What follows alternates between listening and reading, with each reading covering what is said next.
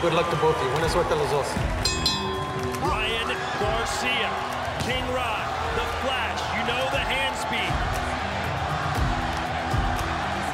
That's the challenge in front of him tonight. Francisco Fonseca. That knocked him off balance. Got him with a left hook.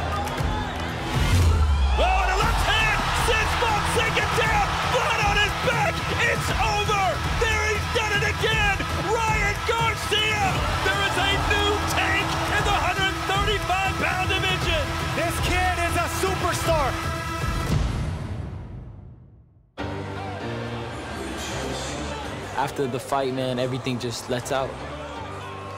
I, I, I go off, man. I'm exploding. I'm so much adrenaline, so much dopamine in my in my brain is going crazy.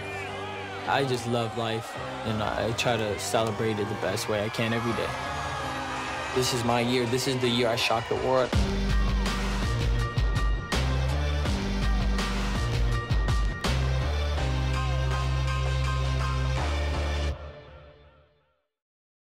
I knew I wanted to do something amazing in 2020 and shock the world, but like when it happens and you do the first step of it, it's just like, man, now the, the train is rolling. It's for real. It just feels amazing. It feels feels amazing. Hey, if they didn't respect me, now they respect me. One minute. I can't believe you beat the perfect punch. I told you, oh, bro. Perfect, perfect. That's Watch your back, watch your. Beautiful. Before the fight, I was praying because I knew I was gonna knock him out. I, I really honestly believed I was knocking him out. I, I prayed to God. I said, God, when I knock him out, please have him wake up.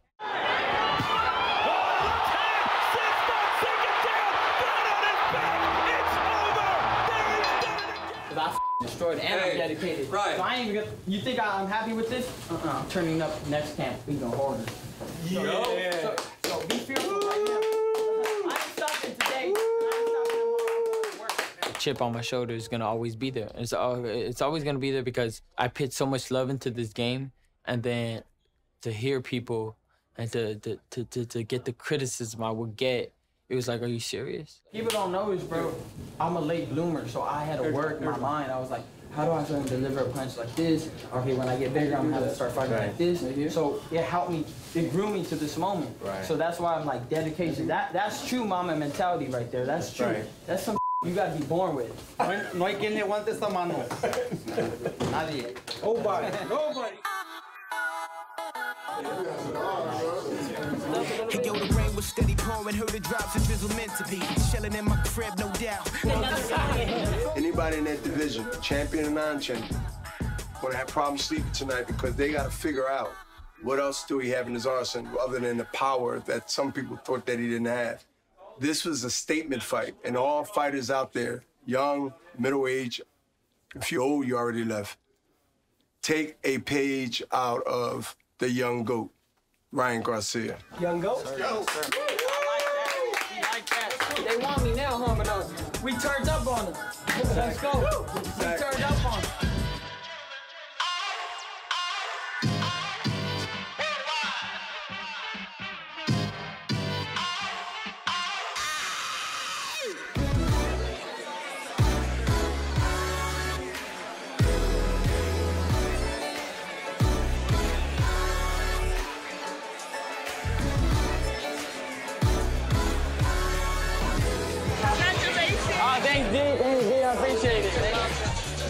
My family, you know. I gotta celebrate it with family, you know. Always, always, man. Family first. Check this out. It's a team effort. So everybody in this room is all part of what I do. I'm gonna put this in my room. Like I said, I'm gonna shock the world, beat Linares. People think he's gonna beat me. I'm gonna beat Luke Campbell. Then I'm gonna go after Gervonta Davis in, in December for Christmas, a Christmas present.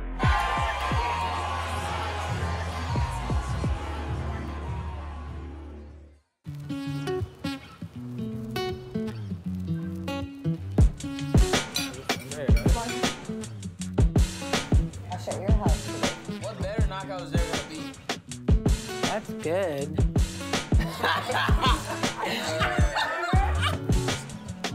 Hey, what did Uncle say about my knockout? Uh, He goes, man, he goes, this is awesome. He goes, tell Ryan, man, just unbelievable. I always like to hear what my uncle got to say. I don't know why. I just like to hear what he has to say. I bet Uncle feels real good being the person that introduced me to boxing. Oh, yeah, he's so proud of you. I felt that he was special when he turned eight years old. His third amateur um, bout that he had, he just gave it all. And I saw the hunger in him, I saw the drive, and then from that point, I saw him develop and develop. And it's like he just kept this motivation going, going, going. And I was like, wait a minute, this boy just doesn't stop. His first amateur fight, Eight years old. eight years old, and he loses. I was so mad at them. But then again, Sergio, he wanted to fight. well, because Uncle somebody Sergio's like, he could fight more spirit, anybody. yeah. He'll fight anybody. So we made that mistake. Live and learn. Second fight, we went to the guy's um, hometown, We beat him. And I know Ryan beat him. And he kept dropping his mouth. But then, exactly, and then that's when they turned it to, To his his favor. So that was two losses. The third fight was interesting because, you know, I made Ryan a promise and I told him, I said, hey, Ryan, I said, I guarantee you, because I, I, you know, I, I felt, you know, like I felt responsible because I was taking him and I said, man, you know what? I got to protect my boy.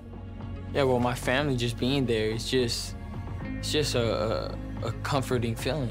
They've been there my whole life. They, they, they've been on this boxing journey with me. They've been through hell and back for me. You know, they, they gave up everything to pour it into my boxing career. We, we had no plan B. It was like, Ryan, you're talented, go. I tried to shield him from knowing what was really going on so that he could focus and, and Sean can focus on their boxing. Um, I think, you know, we just happened to fall under that whole economic crisis from 2005 on. And that's kind of what happened. And they were at that age where they, they weren't really, they were aware of it to a certain degree because they saw that we had to move and move and and uh, but you know what? That's just part of life, right? Things like that happen, and you just got to keep going.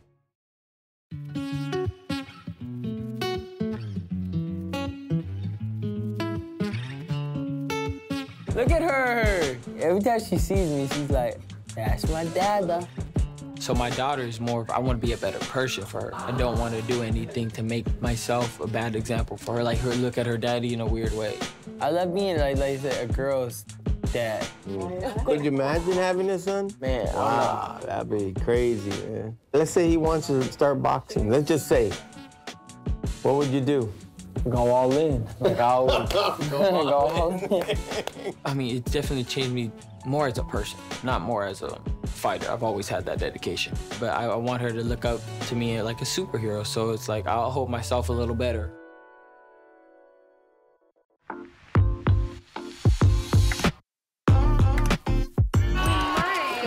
Bobbity boop. Disneyland, you know, it's good. Why? Because of family. You know, it's for family. It's for, you know, kids to have a good time, to give them great memories. Yeah, say hi. Anything is possible. Dream to be a princess, dream to be a king. If you really look at everything behind the message of Disneyland, it's pretty beautiful. Thank you, brother. All right, brother. Hey, love you, man. Yes, love you too. Yes, sir. My daughter's gonna be the first woman president by 50. I just look up into the sky, I just thank God. Like I, I just feel everybody's energy, then I just soak in the moment. What's up, man? How you doing? What's up, man? Thank you, man. Thank you. I appreciate that. Insane. Man, for the boxing, you deserve way more respect. Thank you. Thank you, man. I appreciate that for real, for real. And yo, I'm with the Patriots. Everything I do in boxing is calculated. So, Linares, it's all good and dandy. I, you had a great career. I have respect for you in that regard. Linares, all kudos to him. He's a great fighter. One thing he don't have, I'm gonna test that when I see him. I'm gonna f***ing knock his out. He's just a he's an old lion, so I'm gonna get him out there. He's gonna be retired after my fight. I'm going to calculate my shot until I hit him to where he cannot get up. I'll say it like that.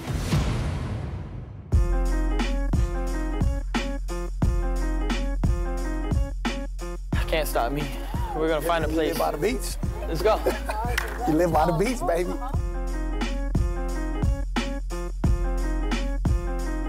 To be in my life every day, you're gonna have to be a little insane. We stay ready. That's what I'm saying. No matter what, we working. Now, here we go. One. Just let it breathe. Good.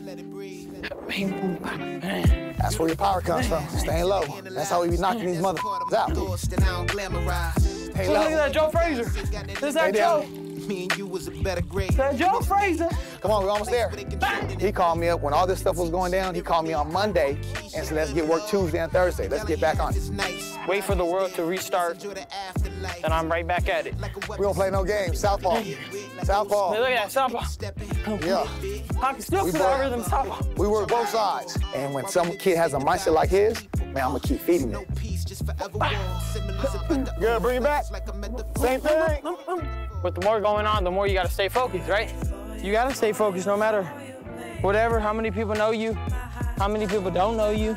Because then, when you get too famous or too, too many people are watching you, if you remember how focused you were when nobody was watching you, then you should have no problem.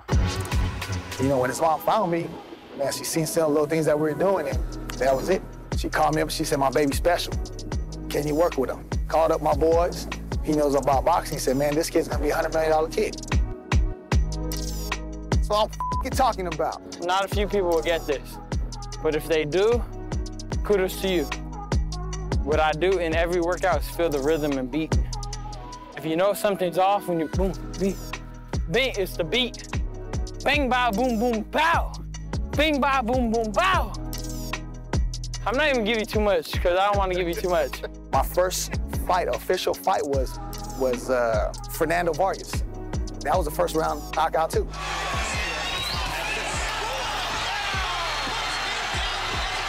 Every time I've been with him, the whole camp, they be getting the first round KOs. It's, it's, it's not by default. It's right here what we do. Quick, quick. Put down, put down. Bam, go, come on, fast. Hit it, come on. Come on. I will be a true world champion. Imagine there's a lot of world champions. A lot of world champions. I'm gonna be a true world champion by beating a guy that everybody's fearful of. Tank, those hard, knockout artists. Gonna see what I do though. I am the best fighter in my division right now. I will say that. And when I'm done conquering this division, I'll conquer the next one, then the next one, and then my accomplishments will speak for themselves. Of course, Tanky. We call him Tanky. I'm coming at him. It's now the roles are reversed. I'm coming at him. He's gonna eat a lot of punches coming, which I don't think he will take. But even if he does, he doesn't have the heart. At, he don't even have the heart. He almost got bomb rushed by Gamboa on one leg. So, so imagine me and I have him a little tired. Or you want to be disrespectful? Watch this. I'm even more disrespectful. Anything you could do, I could do better. You put a meme out about me with that picture, put up a better one. Uh, because he, he literally copies Floyd, everything he does, his mannerism.